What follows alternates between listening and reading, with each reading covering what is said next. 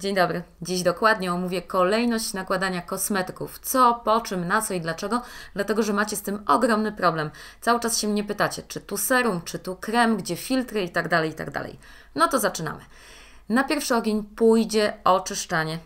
I tak, jeżeli chodzi o oczyszczanie, to zawsze na samym początku pojawia się kosmetyk najcięższy, czyli mleczko lub olej myjący. Dlaczego? Dlatego, że takie preparaty poradzą sobie z tymi najcięższymi zanieczyszczeniami po całym dniu. Czyli nie tylko z zabrudzeniami ze środowiska, ale również z makijażem i oczywiście filtrami, bo wiele filtrów nie jest rozpuszczalnych w wodzie. Dlatego na pierwszy rzut idzie mleczko lub olej myjący. Następnie po oleju myjącym mamy żel myjący lub piankę. To właśnie one zawierają odpowiednie detergenty, które rozpuszczą wszystkie pozostałe zanieczyszczenia w wodzie.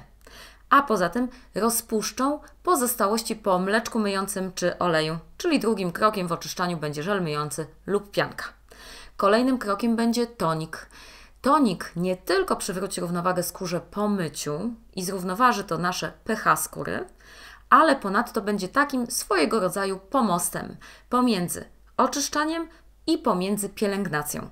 Dlatego, że tonik nawilża skórę, a im lepiej nawilżona skóra, tym lepiej później wchłaniają się kosmetyki pielęgnacyjne. Dlatego, powtórzę, najpierw mamy najcięższe kosmetyki, olej myjący lub mleczko, następnie idzie pianka lub żel myjący i na końcu mamy tonik. Czyli zasada jest taka w oczyszczaniu. Idziemy od najcięższego do najlżejszego kosmetyku. Dokładnie odwrotnie ma się zasada w przypadku kosmetyków pielęgnacyjnych, czyli zaczynamy od najlżejszego do najcięższego kosmetyku. I tak. Po pierwsze, primo, jeżeli stosujesz kompletną taką pielęgnację, to zaczynaj od serum, ale mam tu na myśli serum beztłuszczowe lub o bardzo lekkiej konsystencji. Jeżeli lubisz stosować serum olejowe, to powiem o tym za chwilkę. Czyli na początku, już oczywiście po dokładnym umyciu twarzy i zastosowaniu toniku, nakładasz serum. Czekasz chwilę, mówię jeszcze raz, serum o lekkiej konsystencji. Nakładasz, czekasz chwilę i następnie kolejnym krokiem będzie krem, który jest nieco cięższy od serum. I tu mam na myśli krem o jakiejkolwiek konsystencji. Czy to będzie emulsja, y, czy to będzie krem nawilżający, czy to będzie krem półtłusty, czy tłusty. To jest miejsce na krem po serum.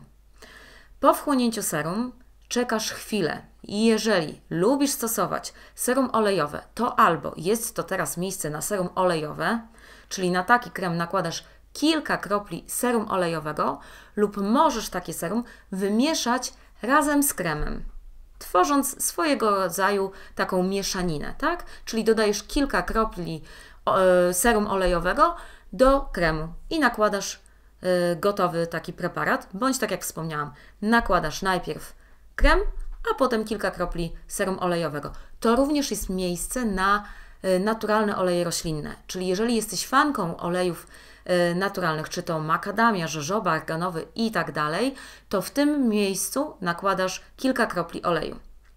Możesz również nałożyć samodzielnie olej, na przykład na uprzednio nałożone serum ale powtórzę, żeby się znowu nie zamieszało. Idziemy od najlżejszego do najcięższego, czyli serum, lekkie, beztłuszczowe bądź o lekkiej, żelowej bądź wodnistej konsystencji, krem, serum olejowe i oleje naturalne. Tak wygląda pielęgnacja wieczorem. Natomiast jeżeli chodzi o pielęgnację w ciągu dnia, musimy włączyć jeszcze krem z filtrem i makijaż. Czyli tak, zakończyłyśmy całą pielęgnację. Mamy już najcięższy kosmetyk, albo w postaci samego kremu, albo w postaci serum olejowego lub oleju naturalnego. I tutaj jest miejsce na krem z filtrem, czyli kremu z filtrem nie nakładamy nigdy pod krem pielęgnacyjny. Dlaczego? Dlatego, że w ten sposób zetrzesz filtry. Możesz też sprawić, że nie będą one takie fotostabilne i w rezultacie nie będą chroniły Twojej skóry w odpowiednim stopniu. Czyli najpierw kończymy wszystkie kosmetyki pielęgnacyjne, czekamy aż się wchłoną, nawet dobrych kilka minut, następnie nakładamy krem z filtrem. I jeżeli wykonujesz makijaż, to bardzo ważna uwaga. Po nałożeniu kremu z filtrem bądź innego preparatu, czy to jest emulsja, czy mgiełka z filtrem, czekasz kilka minut. Po co? Filtry muszą mieć czas na zakorzenienie się w skórze.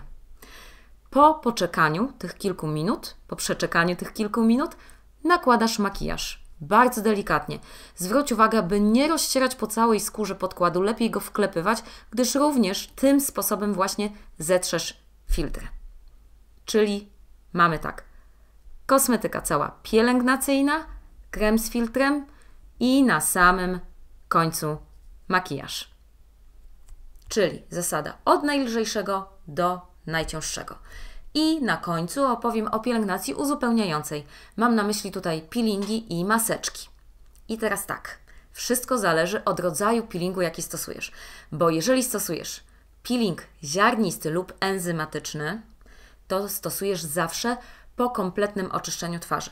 Czyli najpierw przeprowadzamy y, kompletne oczyszczenie twarzy w trzech krokach: mleczko lub olej myjący, żel lub pianka i tonik.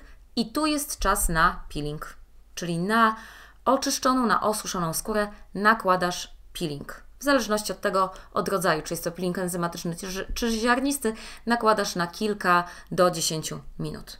Po tym upływie czasu spłukujesz, osuszasz, ponownie nakładasz tonik, bo tonik przywróci tę równowagę skórze po peelingu i dopiero nakładasz maseczkę. W ten sposób Twoja maseczka będzie lepiej wykorzystana. Czyli jeżeli nie użyjesz toniku po zastosowaniu peelingu, to ta maseczka nie wchłonie się w takim dobrym stopniu. Tak? Czyli mamy peeling, zmycie, tonik, osuszenie i maseczka.